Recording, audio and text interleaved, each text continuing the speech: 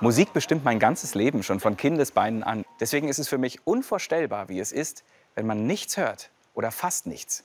Und genau das möchte ich herausfinden. Und deswegen bin ich mit einer Gruppe von jungen Leuten verabredet, deren Welt still ist.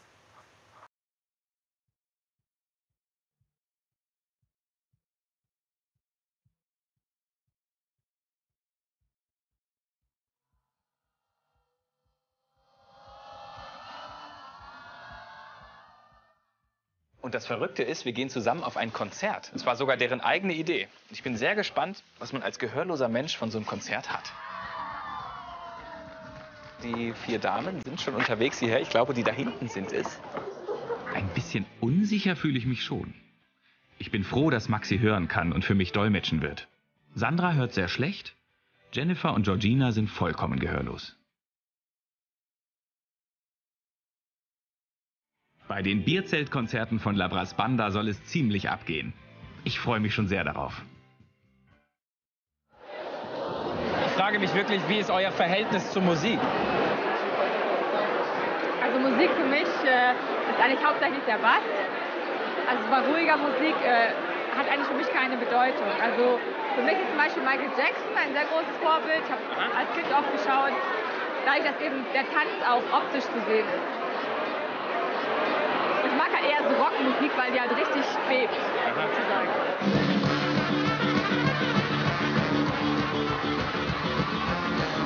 Warum leben Hörende und Gehörlose eigentlich so aneinander vorbei?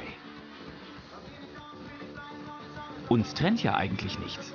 Es gibt ganz unterschiedliche Arten der Kommunikation. Wie gefällt euch hier? Super! Partystimmung! Partystimmung. Ja, Ich, ich würde gerne wissen, wie das in so einem Alltag ist. Also wir würden dich auch gern zu uns nach Hause einladen, wenn du dir das zeigst, wie das so unser Lebensalltag aussieht. Darf ich euch besuchen? Das würde ich gerne machen. Warum wissen wir eigentlich so wenig über Gehörlose? Es wird echt Zeit, das mal zu ändern.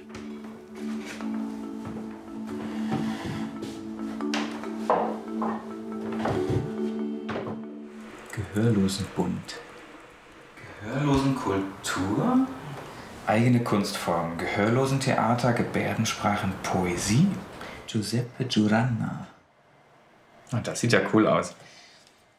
Noch nie gesehen. Gebärdensprachenpoesie. Das ist wie ein, wie ein Tanz. Ulki-Comedy. Es gibt sogar ein Gebärdensprach-Comedy-Festival. Das ist in Berlin und da melde ich mich jetzt einfach mal an. Da fahre ich hin.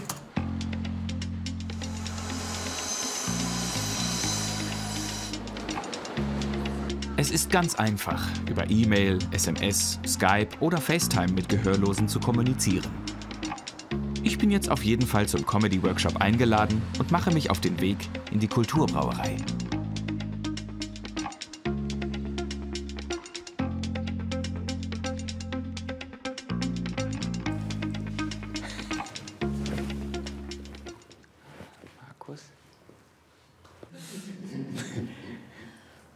Markus sitzt da hinten. Ich heiße Malte. Hier, wegen meiner Haare, ne? Schon gut, habe ich schon einen Spitznamen. Diesmal traue ich mich ohne Dolmetscher.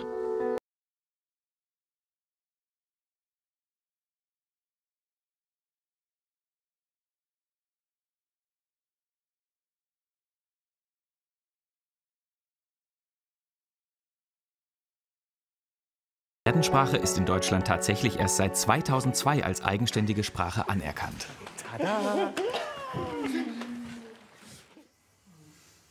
Also jetzt machen wir hier echt Hochleistungssport. Jeder denkt sich eine Sportart aus, geht in die Mitte und stellt die pantomimisch dar.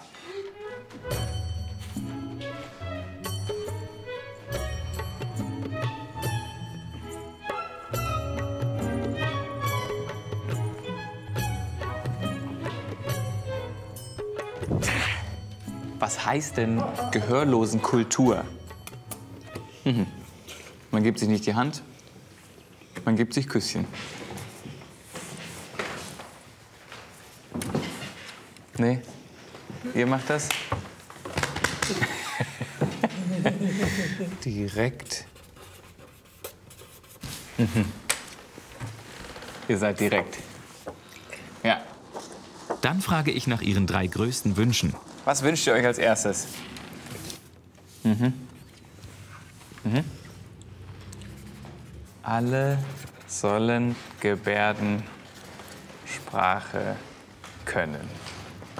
Cool. Mehr Untertitel. Ja. Aha, im Kino auch. Ja, Untertitel. Gebärdensprachenpflicht für alle, ne? Das ist euch das Wichtigste.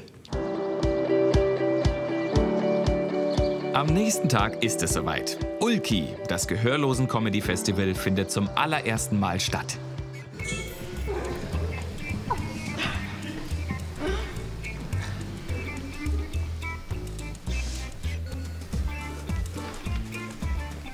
Als Sänger und Moderator habe ich einen riesen Respekt davor, sich ausschließlich visuell darzustellen.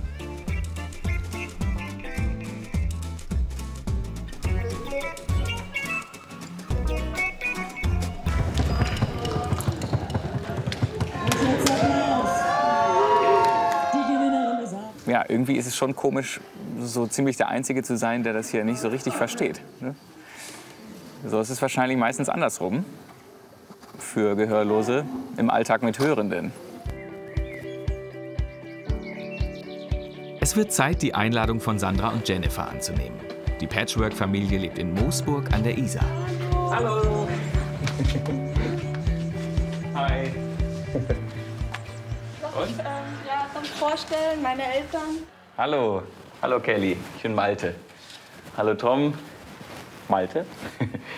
hallo Viktor. Ui. Dann haut ihn um vor Freude.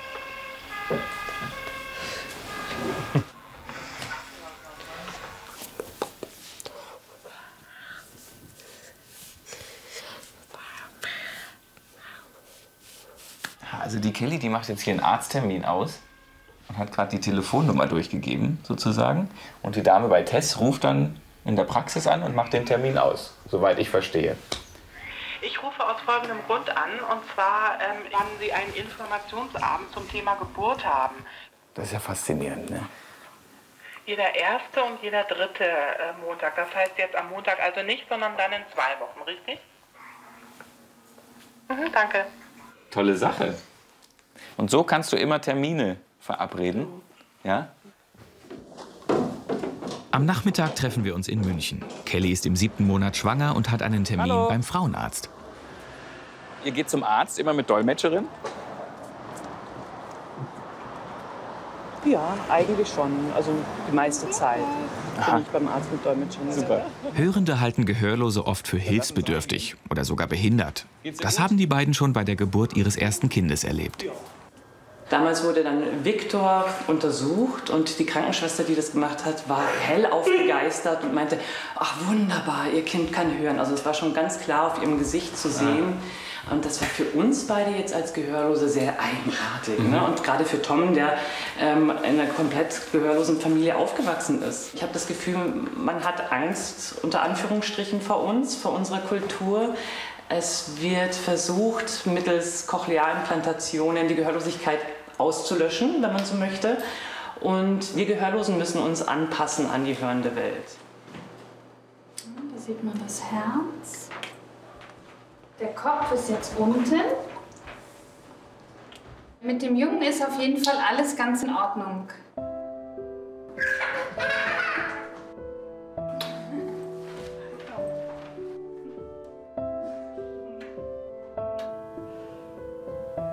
Abend geht es dann noch weiter an die Uni. Kelly ist Dozentin und unterrichtet Medizinstudenten in Gebärdensprache.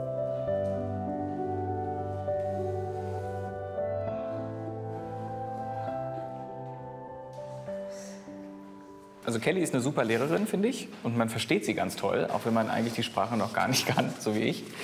Und ein paar Sachen merkt man sich auch ziemlich schnell. Und vieles habe ich natürlich überhaupt nicht verstanden. Also so Gesten, so Oma, das kann ich mir noch vorstellen, aber anderes Gewuschel und Gebärde. Auch Tom darf ich zur Arbeit begleiten. Hast du fürs Autofahren einen besonderen Führerschein? Ganz normal Führerschein gemacht. Ja? Aber ist das nicht gefährlich, wenn du nichts hörst? Krankenwagen, Hupen, Klingel. Ich habe Spiegel. Aha. Ich sehe mir. Ja, dann fangen wir an. Tom ist Servicetechniker. In der gehörlosen Welt hat es sich längst herumgesprochen, dass er zweimal die Woche berät. 8.7. hat sich selber hier eine große Fanbase aufgebaut. Mhm. Viele Kunden ähm, hierher gelockt, selbstständig. Genau. Und jetzt kommen die Kunden aus der ganzen Welt, deutschlandweit zumindest. Hast du schon Autogrammkarten? Nee, noch nicht. Noch nicht. Kannst du planen.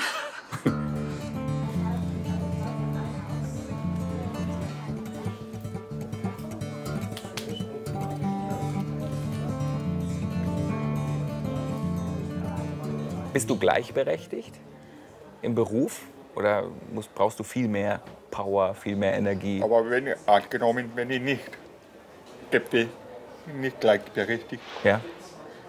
Ich arbeite dort 26 Jahre bei Telekom. Da muss ich zeigen, dass ich kann, Hörende. Bei der Beruf, da hat mich erst einmal gefragt, was ich möchte. Da habe ich gesagt, ich will Montage. Ja, nee, ja, nicht. Aber doch, doch, ich will. Dreimal gebracht, ich will. Da hat er, okay, an mich gegeben. Hallo. Kuckuck. Hallo Viktor. Gehörlosen werden Kinder oft nicht zugetraut. Der Viktor ist sehr fröhlich und liebevoll. Also ist ja eh so ein Sonnenschein, aber das haben wir ja von Anfang an, war das ja schon so. Der Viktor hat großes Interesse an Musik. Bei uns kommt ja die Musikpädagogin. Da hat sie ein, ein Xylophon gehabt und sie sagt, und er meinte dann, er hört. Hat das auf seine Ohren gezeigt, er hört. er ist wirklich in allen Bereichen äh, altersentsprechend entwickelt. Ähm, teilweise sogar noch ein bisschen weiter als vielleicht äh, andere Kinder in seinem Alter. Stößt du manchmal auf Vorurteile von Hörenden gegenüber gehörlosen Eltern? Hast du da schlechte Erfahrungen gesammelt?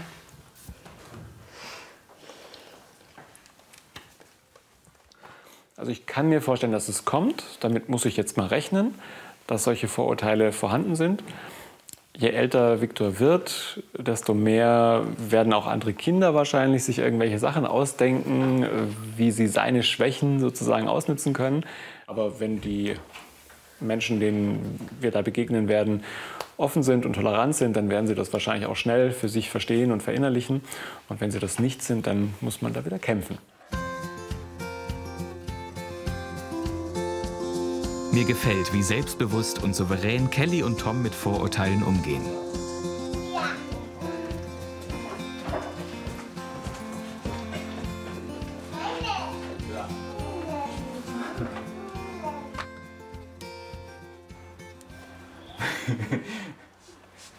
Tom langweilig bei der Arbeit? Langweilig? Eindeutig.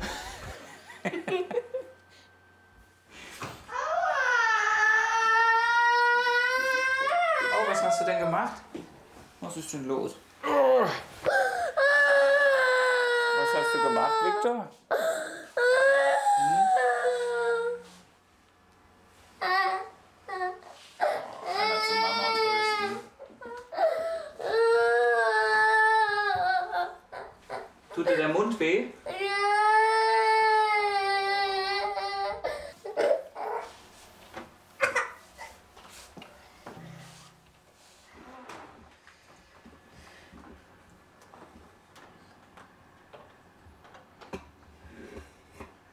Wenn Viktor weint und irgendwo liegt, kannst du es nicht hören. Wie machst du das? Ich sage Mhm.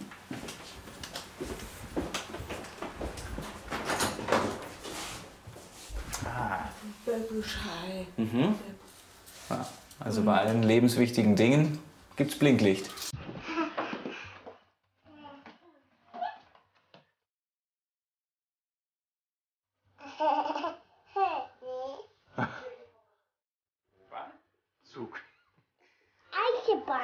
Eisenbahn.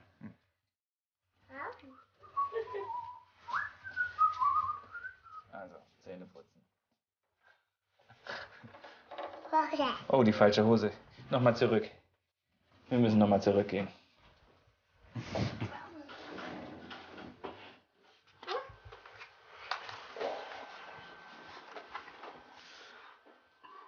Der Hase. Ja. Mhm.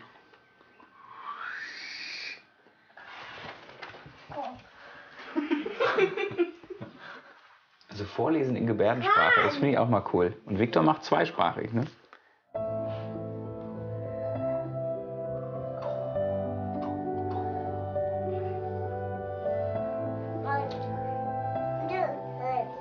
Warum kannst du Lautsprache? Ja? Gezwungen. Gezwungen? Wer hat dich gezwungen? Lehrer. Wie alt warst du da? Sechs Jahre alt. Mhm. War in der Grundschule. Und der Lehrer konnte nicht gebärden. Ja. Bin gezwungen laut zu sprechen. Tat das weh? Ich kenne keine Atemtechnik. Mhm. Tut dir das immer noch weh? Auch heute? Ja? Und der heißt The Artist. Tom heißt ja eigentlich Staubi, zumindest in Bikerkreisen. Jede freie Minute verbringt er auf dem Motorrad. Und stolz ist er vor allem darauf. Er ist Präsident der Deaf Biker Franken.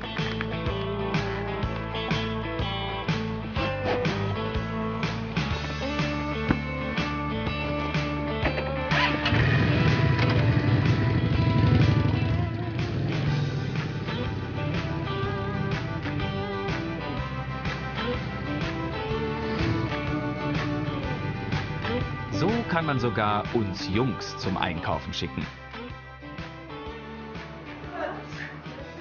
Ist gut. Ah, sieht gut aus.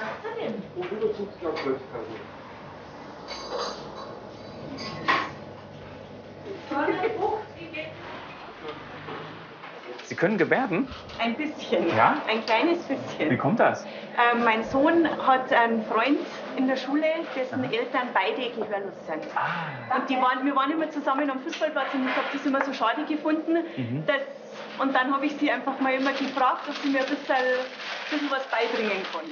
Was lernen Sie denn gerade in Gebärdensprache? Vor allem, vor allem die, die, die Verkaufstätigkeiten ne, Aha. Ne?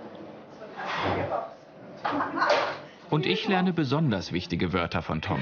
Bierschinken? Ja, das ist schon mal. Bierschinken. Ah, Kochschinken. Aha.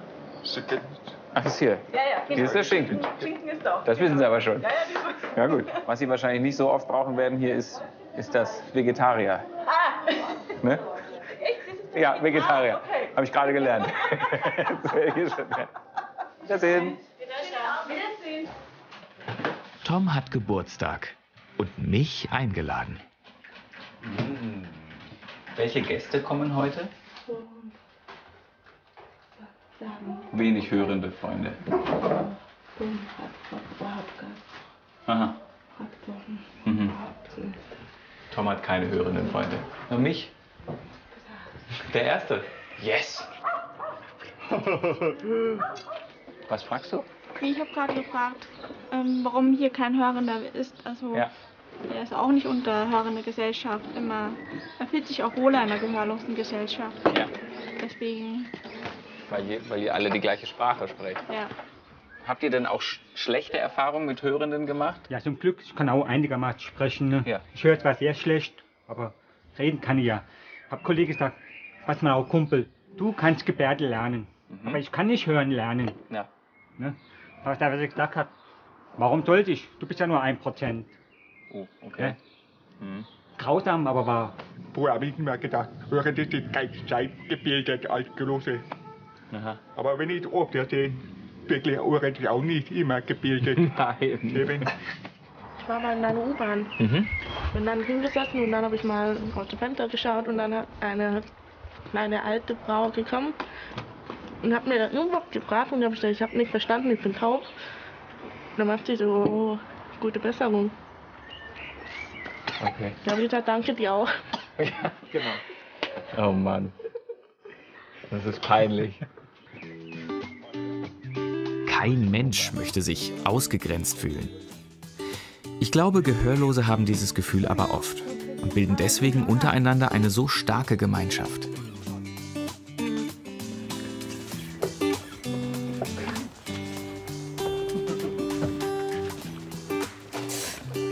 Heißt es wieder Koffer packen, weil Simone Lönne hat ja neulich in Berlin erzählt, dass es einen Seniorenstammtisch gibt dort.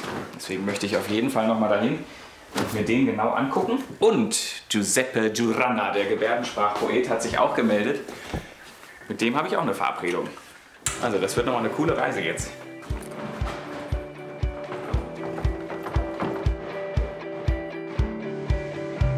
Die Tage mit Tom und Kelly haben mir zu denken gegeben. Ich wurde dort so herzlich aufgenommen und fühlte mich nie allein oder ausgeschlossen. Andersrum ist es für Gehörlose, glaube ich, brutal. Sie werden ständig ausgeschlossen. Ich treffe mich mit Holger. Er ist Kind gehörloser Eltern und wird beim Seniorenstammtisch für mich dolmetschen.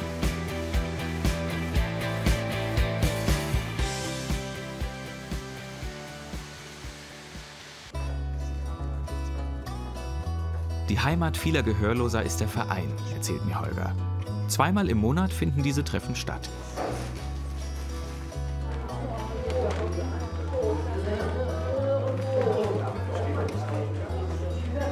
Manche gehen ja zu diesem Stammtisch seit zwei, drei Jahren, andere 20 Jahre.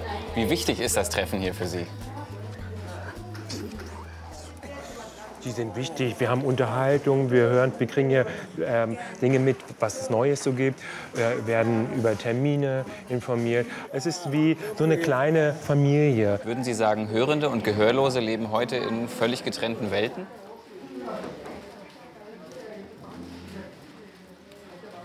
Natürlich gibt es hörende Nachbarn und da hat man so den kleinen Kontakt, aber auch Hörende geben sich wenig Mühe uns Gehörlosen gegenüber. Ich habe früher zum Beispiel hörende Arbeitskollegen gehabt, aber heute als Rentner hat man diesen Kontakt nicht mehr. Ich war schon mal hier vor vier Monaten, war total aufgeregt und wusste, es gibt ein gehörlosen Comedy-Festival. Ich habe keine Ahnung von Gebärden. Ich wusste überhaupt nicht, wie das wird. Und jetzt fühle ich mich hier schon sehr wohl. Weil es irgendwie auch eine Kommunikation viel mit Augen ist und mit Mimik. Man muss gar nicht diese ganzen Gebärden wissen, um sich gut zu verstehen. Was würden Sie sagen? Ich finde, es hat eigentlich was mit Mut zu tun an erster Stelle. Man muss mutig sein, wenn man eine neue Welt kennenlernt. Und man muss offen sein und geduldig. Und dann verschwinden Ängste und Barrieren. Mein T-Shirt sorgt schließlich auch noch für Freude. Humor ist, glaube ich, eh die beste Art der Kommunikation.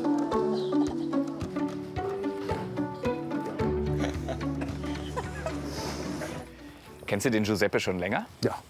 Also man muss ihn auch kennen als Dolmetscher. Der ist so bekannt in der gehörlosen Szene. Echt? Ja, ja, ja. Ein richtiger Promi, oder wie? Sozusagen. Ah, gemütlich. Das ist meine Wohnung. Schön. Toll. Ja. Was ist denn Gebärdensprachpoesie? Das ist so wie ähm, Musik. Wenn zum Beispiel, das ist die Gebärde für Blatt, wenn ein Blatt herunterfallen würde. So kann ich dieses Blatt machen, was sich bewegt und nach unten fällt und auf dem Boden aufkommt ganz sanft. Und vielleicht noch mal weh zur Seite. Und dann gleich der Übergang in eine Seite, wie ein, eine Seite in einem Buch umgeschlagen wird. Also man kann hier wunderbare Übergänge, wie so ein, so ein Reim machen. Oder zum Beispiel ein Vogel. Ein Vogel, wenn er dann so fliegt dann, und ich in die Rolle schlüpfe. Und würde ich ihn aus der Ferne machen, dann ist das der Vogel. Oder noch kleiner. Und er ist dann nur noch ganz klein zu sehen, der Vogel. Ich denke, dadurch, dass ich mit den mit der visuellen Wahrnehmung aufgewachsen bin als Gehörloser, habe ich ganz viele Bilder im Kopf, ganz viele Beschreibungen und kann das darstellen in, äh, in der Form. Ähm, Hörende sind akustisch ausgerichtet und ich habe quasi die Ohren in den Augen. So kann vielleicht jeder vom, vom anderen etwas schön finden.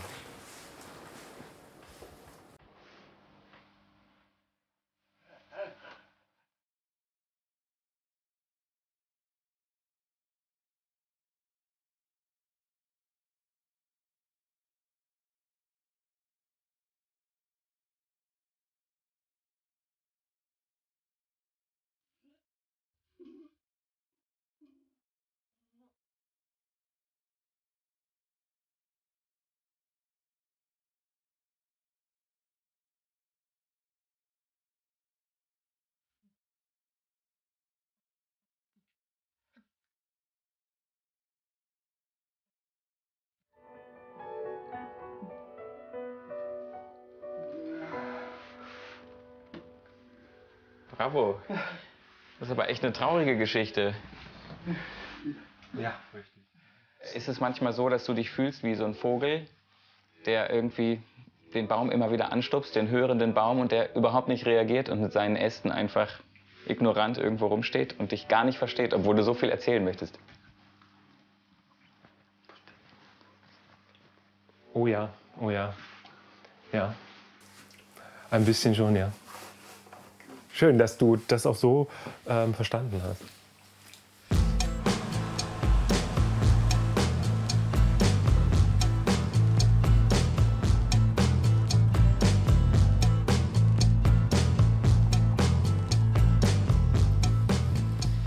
Inzwischen haben übrigens Kelly und Tom ihr Baby bekommen und mich noch mal eingeladen zu sich. Und deswegen mache ich mich jetzt noch mal auf nach Moosburg.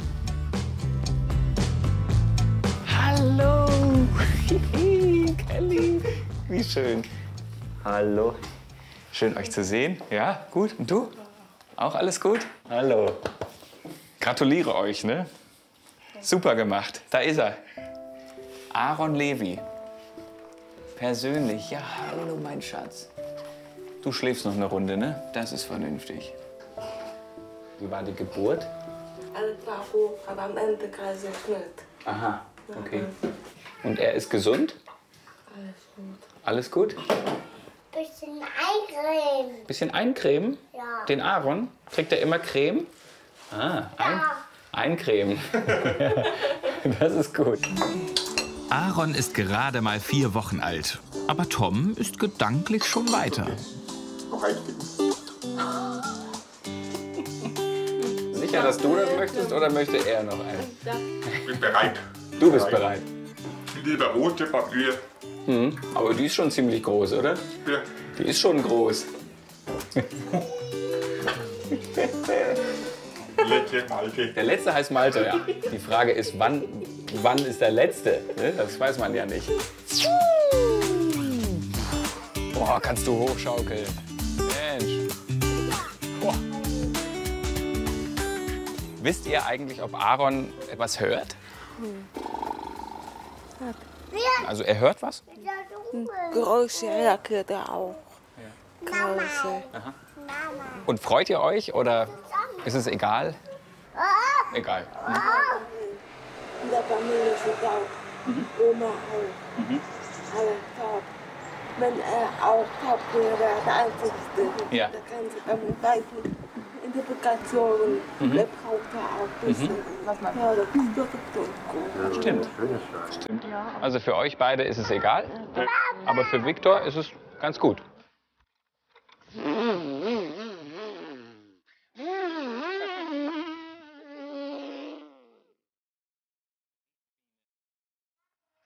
So. Vielen, vielen Dank. Tschüss, mach's gut, Tom. Ciao, Kelly. Dankeschön für alles. Tschüss. Ciao, ciao. Unter Freunden ist es eigentlich egal, ob man hört oder nicht. Und eins habe ich in den vergangenen Monaten verstanden. Gehörlose können alles, außer hören.